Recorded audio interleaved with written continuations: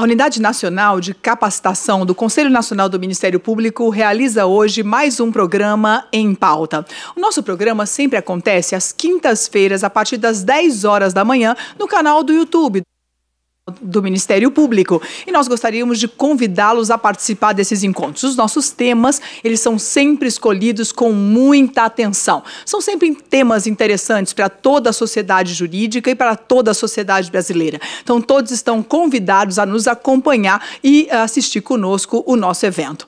Bom, vamos acompanhar então o nosso encontro de hoje falando com um convidado muito especial. Vem falar conosco hoje o doutor Fernando Andrade Alves. Mas o doutor Fernando nos traz uma notícia maravilhosa de um projeto que merece a nossa atenção. Dr. Fernando é membro do Ministério Público do Rio Grande do Sul, é especialista em direito processual penal e em direito penal econômico internacional e europeu. É vice-presidente hoje da Associação do Ministério Público do Rio Grande do Sul e apresentou aqui no Congresso Nacional do CNMP, sendo vencedor no projeto Alquimia 2.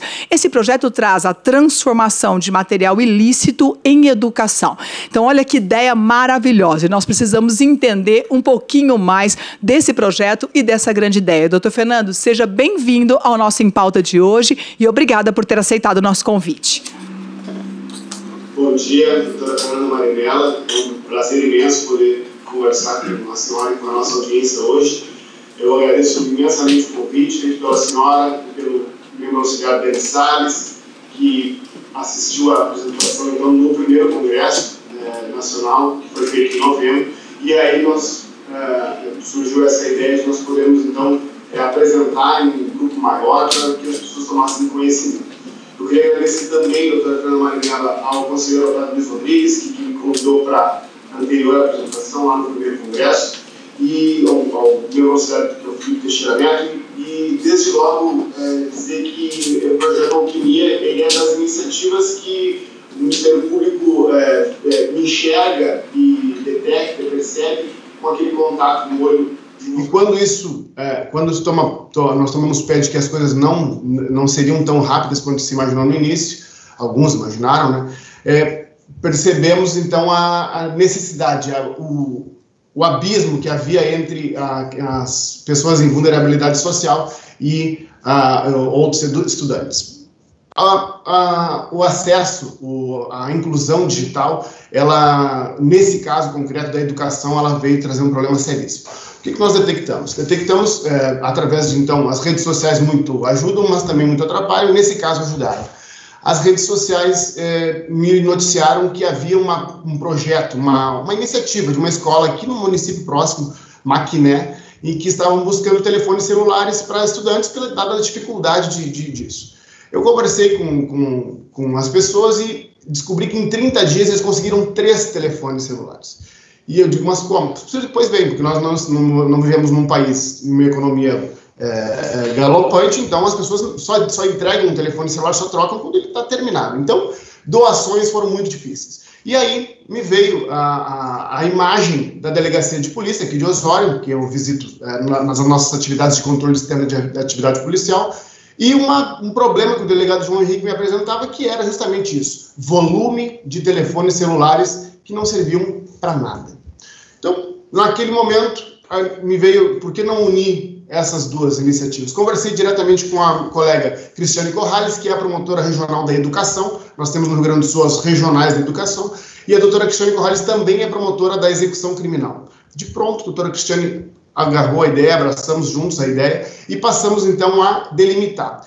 Iniciamos é, formatando um projeto, nós temos dentro do Ministério Público do Rio Grande do Sul uma subprocuradoria de gestão estratégica, então, é, quando eu contei essa ideia para algumas pessoas, eu notei que ela teria uma, um, um, certo trabalho, um fôlego, ela teria, ela teria trânsito. Então, eu, de pronto, formatei um projeto com início, meio e fim e pedi para o nosso subprocurador de gestão, então, não auxiliar nisso.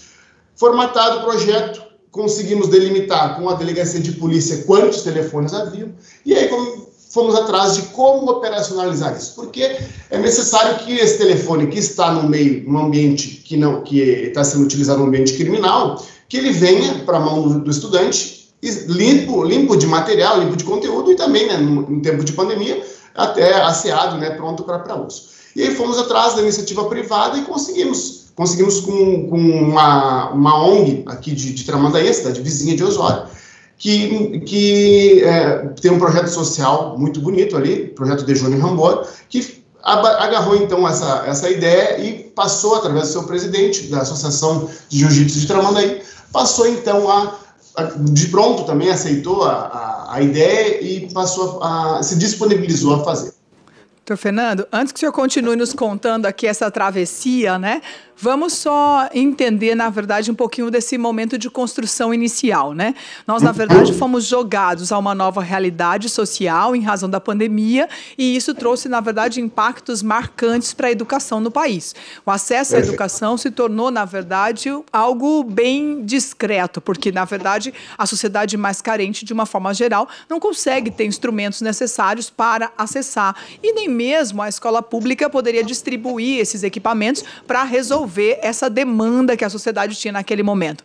Então, é interessante perceber que a partir de uma mudança da realidade social, vem a necessidade de criar estratégias para fazê-lo. E vem, então, a estratégia, essa estratégia, esse projeto, na verdade, alquimia, que me parece ser assim: eu resolvo dois problemas numa saída só. Primeiro, que é dar às crianças ou dar aos estudantes esse acesso à educação. Quer dizer, eu forneço um instrumento, que ainda que não seja 100%, eu sempre digo que se a gente consegue fazer um pedacinho da nossa tarefa, a gente já conseguiu muito. Mas a gente consegue dar para algumas pessoas essa dignidade, essa possibilidade do acesso à informação. E de outro lado, a gente resolve um problema que me parece um problema nacional, que é a questão da guarda do material ilícito. Porque nós vamos armazenando, armazenando, armazenando e precisamos encontrar algum tipo de utilidade para esse tipo de material. Então, o projeto me parece que é aquele laço vermelho né, no pacote todo, que era o que faltava para resolver essas duas situações. Então, é, acho que realmente essa ideia de trazer um Ministério Público próximo da sociedade e que possa efetivamente contribuir para soluções que são, na verdade, é, simples, mas que ao mesmo tempo trazem benefícios gigantes para o cidadão, acho que essa é a grande missão do Ministério Público brasileiro. Então, fica para mim o primeiro registro de que a ideia foi fabulosa. Então, eu achei que uh, vocês tiveram uma, uma brilhante saída aí para esse material e, com certeza, as parcerias eram indispensáveis, porque para realizar essa, essa limpeza, eu diria assim, eu não posso uh, fazer com que o material ilícito uh, propague ilicitude a partir de uma ação positiva, de uma ação afirmativa. Então, o senhor estava nos contando sobre como elaborar, então, esse trabalho de preparação para disponibilizar esses equipamentos. E as parcerias realmente são necessárias porque o Ministério Público não teria, nesse caso, é, eu digo, recursos talvez suficientes para uh, ah, contratar todo esse serviço. Então, quero lhe ouvir um pouquinho mais. Nós já entendemos como surgiu a ideia, eu achei que foi maravilhosa a ideia, mas queremos lhe ouvir um pouquinho com esses desafios, com essas dificuldades na implementação. Mas tem uma curiosidade que antes dessas dificuldades está na minha cabeça e acho que quem nos acompanha também, né? Por que esse nome alquimia, né? De onde veio veio essa ideia, né? Por que esse nome? A gente queria lhe ouvir sobre isso. Pois bem. Doutora Fernanda, no, o Ministério Público ele desenvolveu é, é, um projeto chamado Alquimia 1. Lá no ano de 2010, nós tivemos, tivemos uma ação, uma, um movimento muito forte com relação às máquinas caça-níqueis. E aí essas máquinas caça-níqueis, aquele volume todo, acabava atrapalhando e também se avolumando. Então, naquele momento, o projeto Alquimia um, projeto Alquimia, que não existiu dois, né? projeto Alquimia foi criado para transformar esses computadores, que eram as máquinas caça-níqueis nada mais são do que computadores de, de última geração, em educação. Transformamos, então, máquinas caça-níqueis em computadores. Nesse momento, diante da similitude, nós, a ideia surge, nós precisamos de um nome para isso, né? Precisamos de, de, Nós vimos que isso seria algo que, que teria um, um tempo, é, seria, se protraria no tempo, então um nome por que não Alquimia 2? E aí utilizamos, o procurador-geral Fabiano Dalazendes, doutor Fabiano, temos uma ideia, vamos utilizar, vamos, ele foi também de pronto, abraçou a ideia, nos colocou toda a estrutura do Ministério Público do Rio Grande do Sul à disposição e nós passamos a tocar o projeto com esse nome.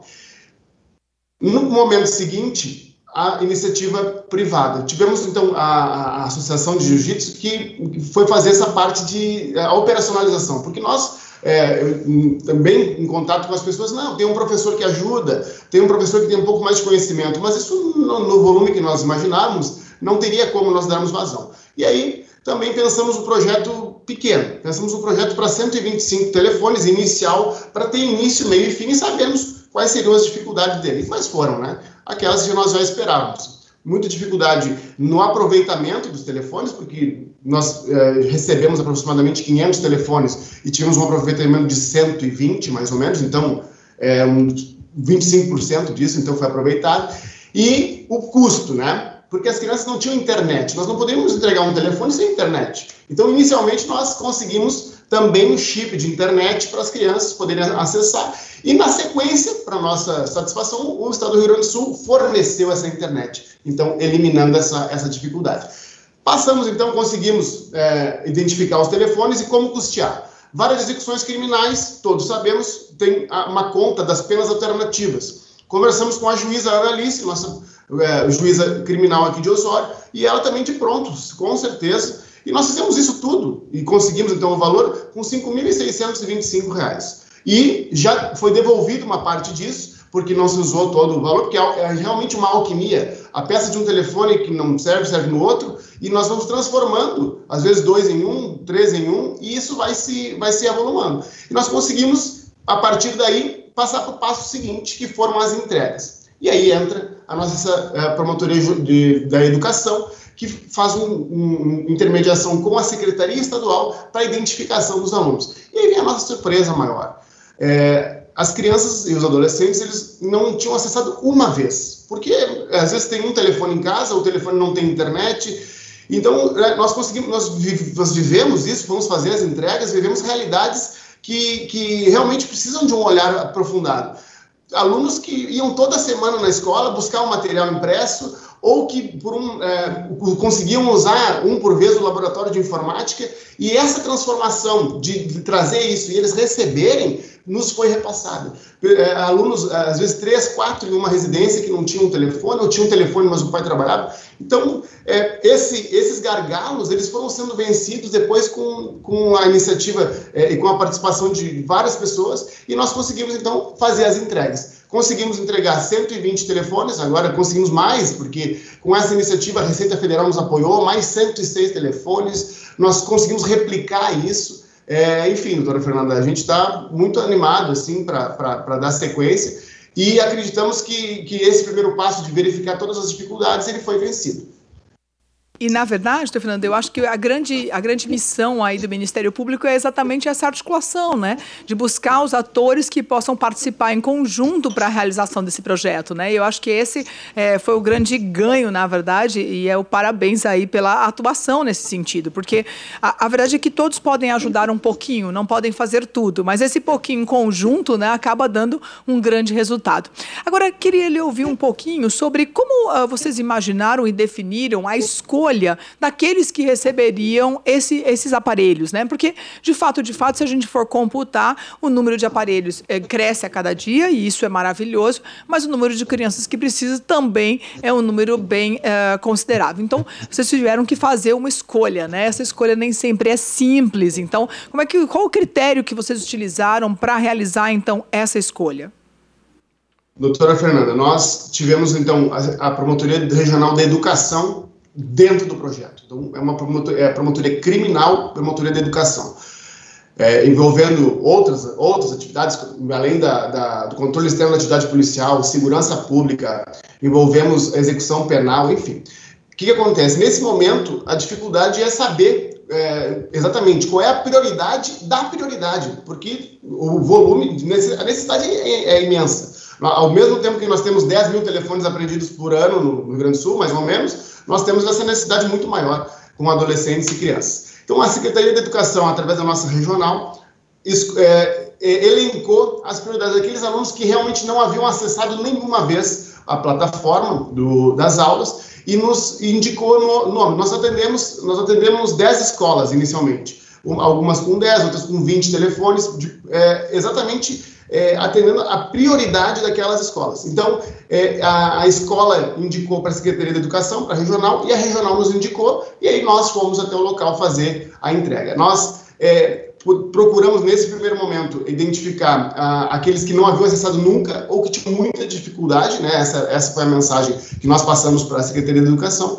e aí nós recebemos esse retorno posterior de que realmente essas crianças que receberam, acessaram e aprovaram. Então, para nós, essa, a escolha, o, o, ponto de escolha foi o acertado e, e, o resultado foi formidável. Então, Fernando, hoje você já tem uma ideia de quantas pessoas foram beneficiadas, impactadas por essa ação? Doutora Fernanda, nós tivemos é, inicialmente, então, esses cento e, cento e, 120 aparelhos aqui no nosso projeto, recebemos 106, da, mais 100, da, vamos botar números mais absolutos, Recebemos material de doação, porque quando o projeto começou a evoluir, as pessoas nos procuraram. Ah, quero doar um notebook, quero doar um tablet. Sim, nós recebemos, fizemos termos de doação para o projeto. Foi, nós tínhamos um, um, um, o Ministério Público, dentro da pandemia, nós já estávamos abertos desde o início, porque o Procurador-Geral Fabiano Dalazen nos, no, é, tomou essa iniciativa de, de propor e nós abrimos o Ministério Público desde o princípio da pandemia. E aí se tornou, então, destinatário dessas doações. E aí nós conseguimos, no total, nós replicamos, doutora Fernanda, em outras cidades aqui do estado. É, nós temos Lajeado, Santiago, São Borja, Bento Gonçalves. No, no total, hoje, nós entregamos mais aparelhos, nós temos mais ou menos entregue 500, é, 551 aparelhos em condições, mas nós já, já entregamos aproximadamente 400 para 400 famílias. Então, é, nesse início nós imaginávamos 120, mas como as coisas foram foram se, se aproximando. As, é, é, impressionante quando o Ministério Público é, encampa uma medida, uma iniciativa, as pessoas procuram pela seriedade, pela, pela certeza de que aquilo vai dar certo, de que aquele programa vai ser seguido e de que as pessoas podem confiar. Então, nós conseguimos fazer muito mais devolvendo o valor, porque a, a, a instituição, a ONG que, que, fez a parte operacional, devolveu valores né, na prestação de contas. Então, é, nós é, já, já atendemos, já atendemos 400 e agora é, temos é, convênios que estão sendo firmados que aí nós podemos ampliar isso ainda mais. Que coisa maravilhosa. Mas, é, doutor Fernando, e as expectativas, as perspectivas daqui para frente? O projeto, na verdade, ele pode ser ampliado para outros equipamentos, que não somente os celulares. Nós vamos precisar, na verdade, das, das parcerias para poder preparar esse material para que ele esteja em condições para ser transferido, para ser doado. E a expectativa é que o Ministério Público todo do Rio Grande do Sul se envolva com esse projeto. A ideia é que outros membros também abracem a causa. Exatamente. Nós temos uh, uh, apresentado e divulgado o projeto, agora também no mês de março teremos mais uma rodada de apresentação, e ele já vem sendo replicado. E o que, que aconteceu então nessa, nessa, nesse caminho? Uh, a nossa Procurador-Geral de Justiça, Fabiano Dalazen, conseguiu então, através da subdigestão, fazer um convênio com a PUC do Rio Grande do Sul. Esse, esse trato que era bem é, pequeno, que era, que era formilinha, né, de celular por celular, a PUC do Rio Grande do Sul, então, celebrou um convênio, um termo de cooperação com o Ministério Público, de maneira a ampliar, é, enfim, é, nós vamos ganhar em, em, escala, porque se nós conseguimos é, tratar 120 telefones em alguns meses, a PUC tem, uma, tem condições de fazer isso muito mais. E agora, na semana que vem, nós estamos celebrando um convênio com a URI, que é a Universidade da, é, Regional Integrada das Missões e lá na, na região do, do, do, das Missões. Então, a, lá nessa região também vai ter uma universidade preparando os telefones. Isso, isso, permite que o colega, o promotor de justiça da comarca, não tenha toda essa dificuldade que nós tivemos inicialmente, e agora ele vai ter essa possibilidade, na sequência, com muito mais facilidade, né, a encaminhar para uma universidade que tem toda a capacidade de fazer o trabalho. Eu sempre digo, doutor Fernando, que boas ideias devem ser copiadas, que a gente não precisa, na verdade, inventar a roda, mas que a gente pode copiar, né? Afinal de contas, por que não em outros estados essa ideia ser replicada, né? Eu acho que a grande questão do nosso em pauta de hoje é efetivamente levar para outros estados a sugestão, a ideia e dizer que é possível, que o Ministério Público pode participar e ele pode ser protagonista, articulando, né? Construindo as parcerias para que esse projeto aconteça. Mas aproveitando esse nosso encontro encontro de hoje falando de um projeto tão bacana que é efetivamente o projeto Alquimia 2, que envolve então esse protagonismo também na educação para o Ministério Público, nós não podemos deixar de colocar a grande pergunta é, no que diz respeito à atuação do Ministério Público brasileiro e à efetivação de sua missão, como o senhor enxerga esse papel? Pois bem, doutora, nós conseguimos com o projeto engajar todas as instituições, todas as nossas nós envolvemos a, a, todas as nossas atribuições, desde execução penal, educação, infância e juventude, criminal, segurança pública, nós conseguimos envolver é, secretarias de Estado, Secretaria de Segurança, nós estamos em contato permanente com a Secretaria de Administração Penitenciária, que está buscando desburocratizar os fluxos, tá, é, nós estamos em contato com o Poder Judiciário, várias execuções, as varas criminais, delegacias de polícia, a Brigada Militar intensificou o controle da, dos acessos, dos arremessos, prenderam indivíduos facções criminosas que arremessavam, prendemos drones, enfim, a criatividade, de lá nós temos que ter criatividade de cá. E eu acho que essa é a missão, articulação. Articular todas essas instituições, envolvendo a, a comunidade, envolvendo, inclusive, a, a, as universidades. Acredito que seja essa, sim, doutora Fernanda, a nossa missão. E nesse ponto, com o projeto, nós conseguimos impactar desde a segurança pública até a educação. É, nós fizemos um leque de todas as nossas atribuições, o meio ambiente. Isso é um passivo, um passivo ambiental enorme que acabava indo para o lixo. Então, eu acredito que, que, dentro, dentro dessa perspectiva e facilitando que, que, que, o promotor de justiça, que o colega, que, enfim, que lá na, na ponta possa uh, fazer isso com mais facilidade, não tendo todas as dificuldades que nós tivemos no início, porque agora o projeto já está formatado com apoio técnico e profissional, eu acredito que ele tem sim condições de ser replicado e ele vai muito a favor, vai muito ao encontro das nossas missões institucionais. Eu acho, na verdade, estou falando não só para, o, ah, para aplicação em outros estados com o mesmo objeto, que seria um aparelho celular, que seria o atendimento à educação, mas eu penso que existem outros materiais desse material ilícito, desse acervo de material ilícito, que muitas vezes está guardado no poder, no poder público e que poderia ser utilizado pela sociedade que precisa tanto, às vezes, de assistência. Né? Então, eu penso que não é só esse equipamento, não é só o celular, o computador, o tablet, mas existem outros materiais que estão nesse guarda guardado de material ilícito e que o Estado poderia aproveitar. Eu acho que vale, na verdade, é chamar o Estado também à responsabilidade, porque é papel do Estado também protagonizar essa saída que resolve o seu próprio o seu problema de acervo. Então, eu penso que o Estado ele tem também esse dever de protagonizar né, a solução com relação à utilização, útil, utilização, digo, eficaz desse material ilícito, que muitas vezes vai para o lixo, como o senhor mesmo colocou, trazendo para o poder público um novo dano, que é o dano ambiental né? Então, não é só o guardar, é também preservar o meio ambiente. Então, penso que existem outros materiais que podem ter essa mesma feliz destinação, né? No que diz respeito à reversão à sociedade. E acho que esse é o papel, efetivamente, do Estado também de construir essas alternativas. Não sei se vocês já pensam aí em outras saídas para esse material, se já tem outros projetos sendo construídos. E eu vou aproveitar aqui já para roubar a ideia, né? Vamos aqui aproveitar esse trabalho eficaz. Doutora Fernanda, nós é, é, buscando a fundamentação até jurídica. Para registrar, roubar a ideia no ponto positivo, levando para outras pessoas as boas ideias, tá certo? Tá certo. Ótimo. Doutora Fernanda, nós é, conseguimos, é, é, enfim, é, essa gama de, de, de, equipamentos e conseguimos, então, reproduzir isso, em, enfim, em, em escala. Agora, nós fomos atrás da fundamentação jurídica. Né? O primeiro, nós não, não podemos né, tratar desse material. A fundamentação ela é singela, né? nós não temos como devolver esse material.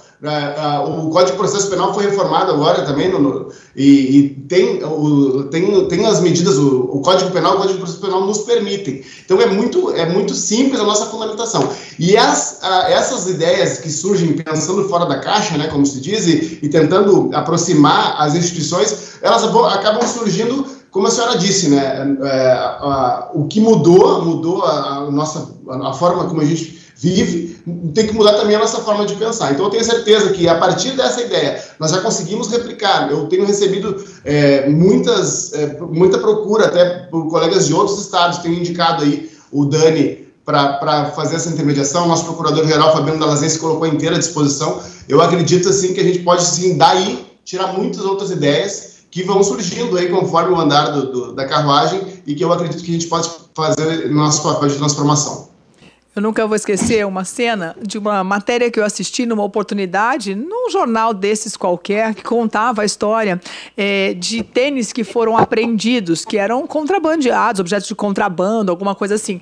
E eu me lembro naquela oportunidade, cena que eu não esqueço, porque eles picaram os tênis, né? O material, é, ele foi todo destruído, né? E eu pensava comigo, meu Deus, tanta gente precisando de tênis, por que que picaram tudo isso, né? Então, é mais ou menos essa situação. E para mim aqui a fundamentação é muito simples, é a supremacia do interesse público que está presente, né? Não tem sentido eu jogar no lixo e causar dano duplamente a essa sociedade. Então, é, eu me lembro dessa cena, não esqueço dela, assim, quando lembro da boa saída, que é exatamente o que aconteceu nesse projeto Alquimia, tô falando. Então, acho que é, é o cuidado que o Ministério Público precisa ter, mas que só acontece se ele tiver uma atuação próxima da sociedade. E muitas vezes nós percebemos que isso não acontece. Durante a pandemia, nós vivemos vários momentos que a perceptiva é de distanciamento. É como se o Ministério Público não estivesse dentro da realidade de cada município, de cada estado. Claro que isso é exceção, em regra, o Ministério Público cumpre muito bem sua missão.